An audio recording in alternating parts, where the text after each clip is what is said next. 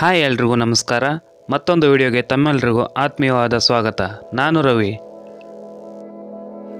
ನಾವು ಇವತ್ತು ಕೊಳಿವಾಡದ ಬಸವೇಶ್ವರ ದೇವಸ್ಥಾನಕ್ಕೆ ಮತ್ತು ಪಕ್ಕದಲ್ಲೇ ಇರುವ ಮಹಾಮಾಯಿ ದೇವಸ್ಥಾನಕ್ಕೆ ಹೋಗಿದ್ವಿ. ಈ ಕೋಳಿವಾಡವು ಕರ್ನಾಟಕದಲ್ಲಿನ ಗದಗ ಜಿಲ್ಲೆಯಿಂದ ಮೂವತ್ತ್ಮೂರು ಕಿಲೋಮೀಟರ್ ದೂರವನ್ನು ಹೊಂದಿದೆ.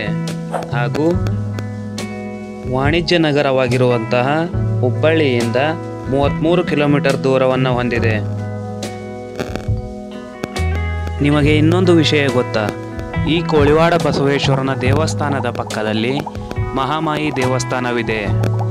ಈ ದೇವಿಯು ಕಳಸದ ಗುರುಗೋವಿಂದ ಭಟ್ಟರ ಶಿಷ್ಯರಾದ ಶಿಶುನಾಳದ ಶರೀಫ ಸಂತರು ಇಲ್ಲಿಗೆ ಭೇಟಿ ನೀಡಿದ್ದರು.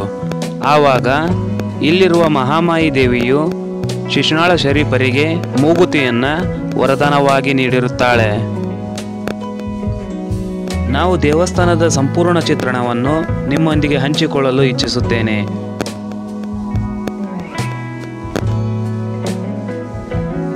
ಅದಕ್ಕಿಂತ ಮುಂಚೆ ನಂದೊಂದು ಸಣ್ಣ ರಿಕ್ವೆಸ್ಟ್ ಏನಪ್ಪ ಅಂದರೆ ಇಲ್ಲಿಯವರೆಗೂ ನನ್ನ ಚಾನಲ್ಗೆ ಯಾರು ನೀವು ಸಬ್ಸ್ಕ್ರೈಬ್ ಮಾಡಿಲ್ವೋ, ಈ ಕೂಡಲೇ ಸಬ್ಸ್ಕ್ರೈಬ್ ಆಗಿ. ಹಾಗೂ ಮುಂಬರುವ ಉತ್ತಮವಾದ ವಿಡಿಯೋಗಳನ್ನು ನೀವು ನೋಡಬಹುದಾಗಿದೆ.